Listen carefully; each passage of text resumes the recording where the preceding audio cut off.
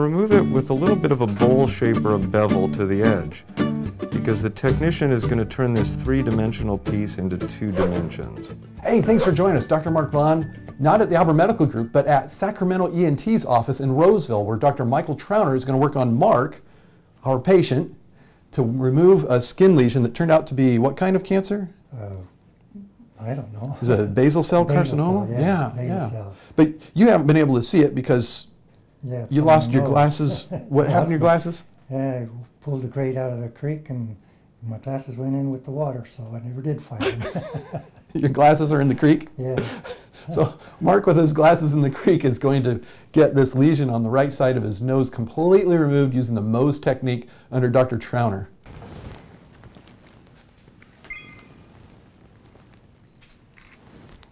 Good. Alrighty. So I'm going to go ahead and lie you back. Your feet will come up a bit. Your back's going to go down. The first part's the worst part. It's going to sting a bit. Yep. We use lidocaine with epinephrine, and it's buffered with bicarbonate to try to make it a little less intense in terms of the discomfort, but it still stings a bit. All right, one, two, three. So we're going to put a generous amount of anesthetic in because we want pain-free surgery. Screaming's bad for business, and the, uh, the waiting room isn't too far away. You're doing all right? Mm -hmm. Good.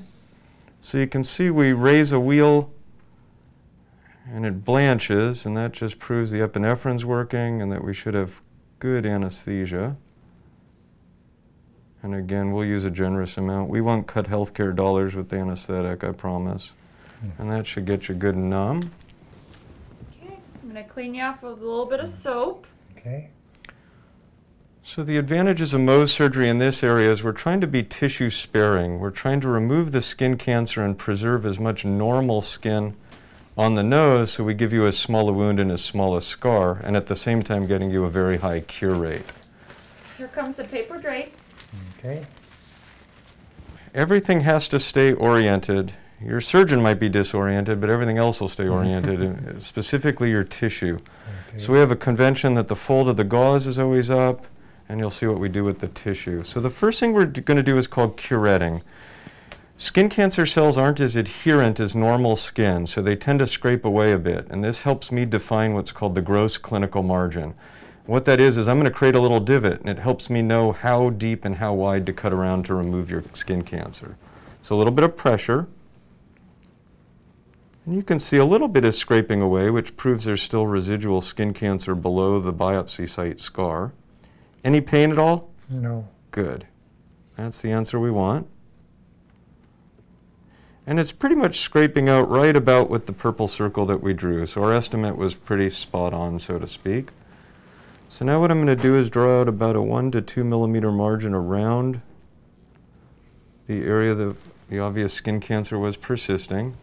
And now we're going to remove it. And we're going to remove it with a little bit of a bowl shape or a bevel to the edge because the technician is going to turn this three-dimensional piece into two dimensions. Any pain at all? No. Good. And you can see, and we're putting orientation marks at 12 and 6 o'clock. And that's again just to keep everything oriented so that we always know if we have to go back to remove more, we can do it in a precise and directed manner. So Nancy's going to hold a little pressure to minimize any bleeding. We're going to try to create a flat plane on the bottom because again it makes the technician's job easier to process. How are we doing there? Any pain? No. Good. And the tissue's removed. I put an orientation mark at the top. Everything on the tissue stays oriented. And we transfer this to a petri dish to take it to the lab. So the next thing we're going to do, sir, is a little bit of cauterizing. A little buzzing sound, a little burnt flesh smell. And this is to just stop any bleeding.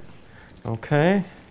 And it's a little bit of a barbecue of you smell, I'm afraid. Okay. Okay? Sorry if I bumped your camera. And this works best with a dry field. So you see I blot and then cauterize, blot and cauterize. And I try not to cauterize the surface edge because that tends to leave a little more scarring. So if I can avoid that, I will.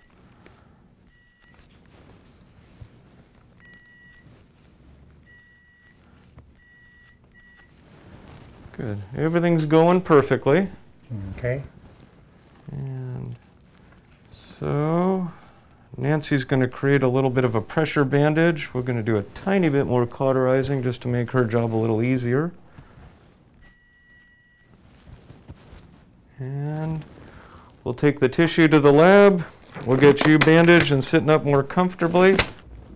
What we do here is to just draw the orientation of the tissue that was removed with again the notch marks at 12 and 6 and it matches the tissue and that's what I oops that's what I then take to the lab.